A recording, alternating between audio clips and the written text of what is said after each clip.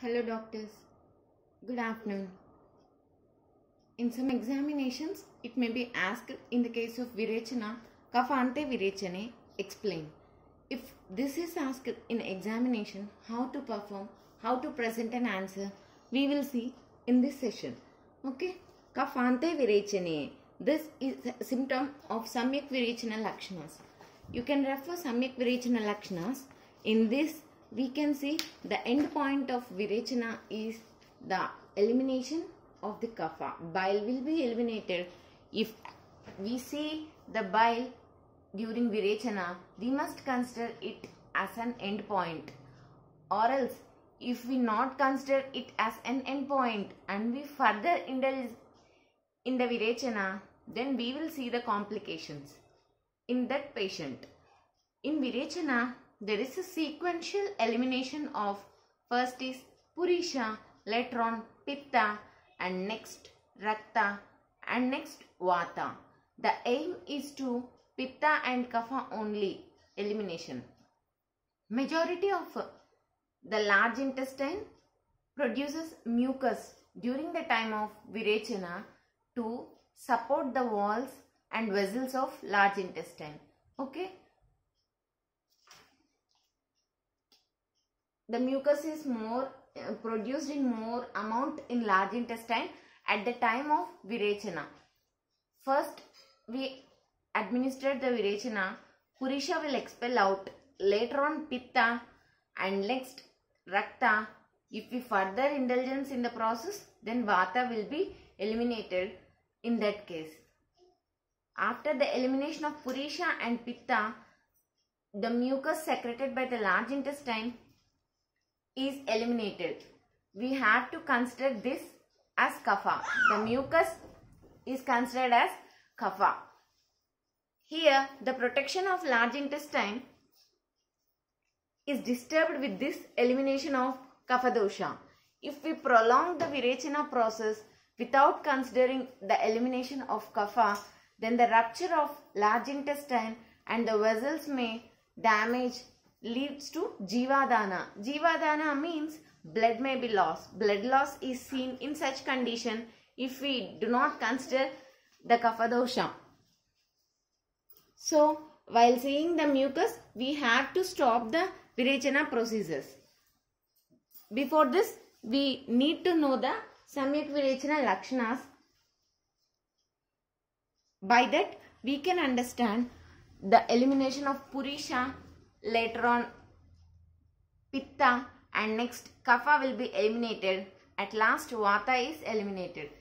If we see small amount of mucus during the elimination of Pitta, during the elimination of uh, Virechana Dravya, at that time we have to stop the procedure.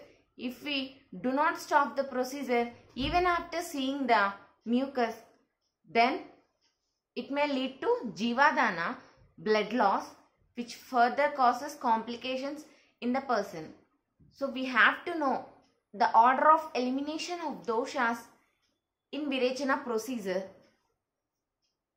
and we have to know if we see the kapha to a small extent at that time we have to stop the procedure if we not stop the procedure then it it may lead to the complications of blood loss and fluid loss the patient may enter into a coma stage so we have to stop the procedure the panchakarma procedures were the most helpful to reduce and to eliminate the disease if we use them in a proper way. If we do not consider of or if we do not maintain the exact procedure methods means we indulge many difficulties in the patients. So we have to eliminate kapha kaphante virechana. We have to stop the procedure of virechana after seeing this kapha. This explains kaphante virechane. Based on the marks, you have to elaborate it.